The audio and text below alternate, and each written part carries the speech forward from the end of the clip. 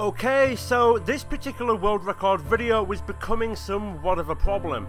Having raced on that track earlier today in single player B class, it seemed like a nice flowing course and decided it would make a good fast rival video. The only problem was, once I finally upgraded a quick car, the bumps I thought were small were in fact friggin' huge. So in the background, like all my previous world record videos, you will see the exact build and tune setup I have applied to the car. So please feel free to pause the video during this part if you wish to replicate the tune or create your own. Or if you would rather, then you can simply download this version and another just like it in S1 class by searching my gamertag Don Joewon Song under the Creator tab.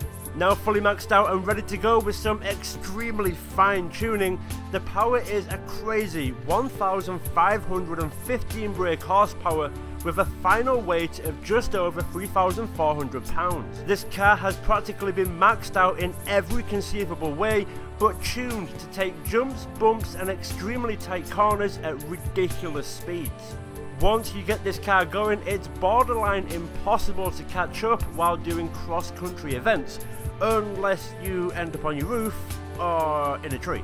The track we're taking on today is the stupid lower slopes cross country. Beginning at the very bottom right hand corner of the map, it takes the world's worst detour through jumps, trees, ice lakes and more jumps to reach the very bottom left hand side of the map. Seriously, playground, just, just build a bridge or a nice straight road. I have to complete this track in one run without crashing, without using rewind, all while trying to not flip my car and hit trees and beating the current number one time of 2 minutes and 21 seconds.